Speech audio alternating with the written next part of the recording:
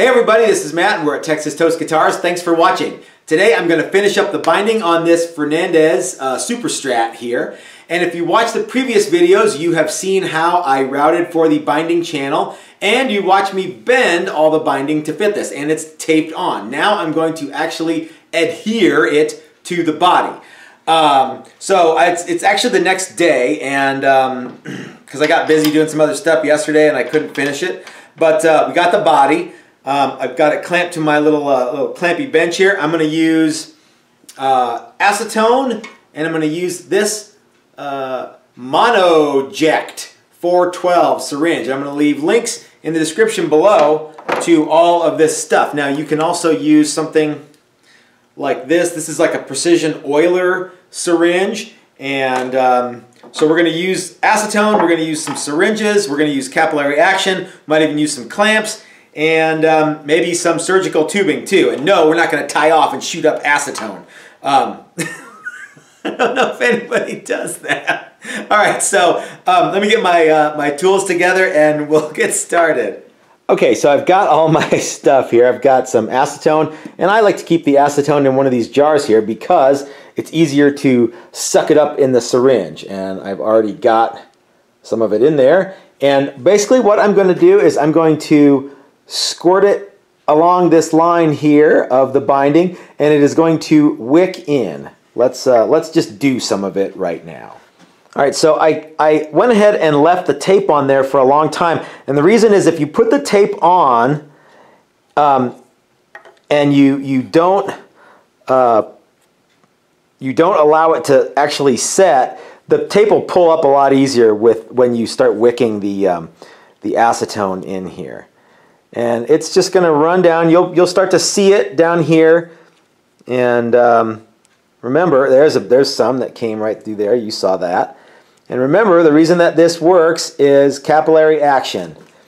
And if you're uh, if you were asleep in bio class, that is the ability of a liquid to move through um, two things that are tight together.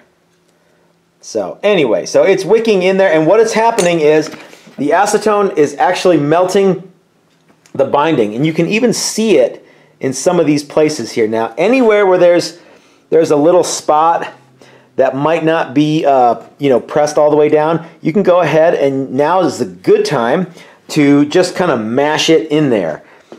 So um, yeah, so what we're going to do is we're just going to move right along the body and um, when we get to some stuff like this, um, see, it'll, it'll go ahead and squeeze right in. I might get some clamps and clamp to the pickup cavity, or I might wrap it with surgical tubing.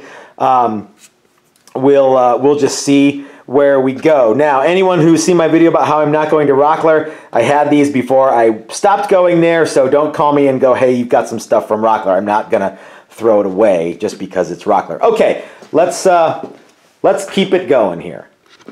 It's not a terrible idea to have a, uh, a paper towel so you can kind of clean up some of the other stuff, some of the extra acetone.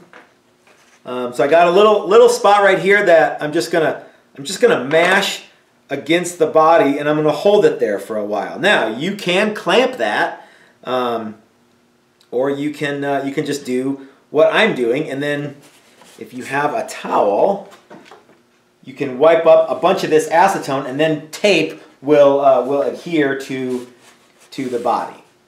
If you wanted to clamp it, you could, oh man, this clamp isn't quite long enough. but you could go, um, you know what I mean? You could go something like this and clamp into that neighborhood like that. Um, or you could just hold it like I was doing and it uh, it's actually staying put. I'm to get some tape though and, and tape that up. Okay, this is almost done, but we have one little area right here where the, uh, the, the binding kind of lost its shape. So rather than try to heat that up later and fix it later or mash in a bunch of pooty later, I'm just to go ahead and get the heat gun out and just reform this guy and touch it up and it'll be, uh, it'll be good to go. Now, remember what I was saying? You could use surgical tubing. You actually can. Uh, you can wick your acetone in there or you can wrap the guitar binding and body with surgical tubing. Wick the acetone in there. The, the acetone won't affect the surgical tubing um, and it will, you can wrap it up real tight, sort of like how Gibson does with, um, with the cloth wraps if you've ever seen how they do binding. But I don't know where my surgical tubing went. I had a couple things of it and it's gone. And I'm going to have a stern talking to with Monkey next time I see him because I'm pretty sure he lost it. Actually, I don't know what he did. So we're gonna we're going to um, we're gonna bend this guy back and uh, and we're just gonna go ahead and tape it down. But remember, surgical tubing or even cloth wrap um, would work in this scenario too. Uh, maybe even better than than tape does because you're not relying on the adhesive on the tape. So we'll get this guy uh, fixed up, and this guy will be um, bound, and we'll have to let it sit for a little while, but it'll be be good to go step I take, the arms are laid down at my feet. The enemies are pinned with no advance and no retreat. They were once advancing, they're retreating now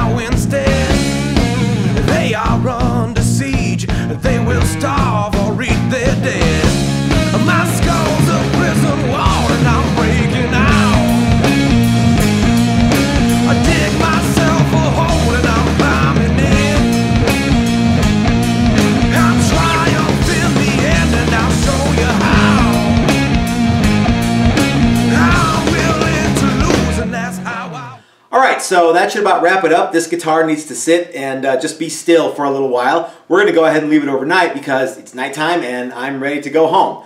Um, there are lots of ways to do binding and approach binding, um, lots of ways to attach binding to your guitar, and lots of ways to stick it down and get it to get it to the, the adhesive to dry or set. And uh, the acetone trick is um, the best way that we have found to do that. There are glues and you can take acetone and bits of binding and mash them up into a paste and make a little thing. Anyone who's ever done that, um, will know why that's not so much fun because that crap gets everywhere. It does have the advantage of um, being its own filler, which I guess is cool if you, you know, uh, if you have any gaps. Uh, let's see, I had a couple of questions about some, uh, some binding related questions. Uh, one viewer wanted to know if you could do this after the guitar was finished. I'm going to say no because um, the way that we do it, we're going to have to clean up this edge on the, the sides and the top and just get everything looking good. Um, I suppose there are ways to do it, but I don't know any of them. Um, some other people have asked about, you know, the, the uh, binding adhesive and stuff like that, or using super glue.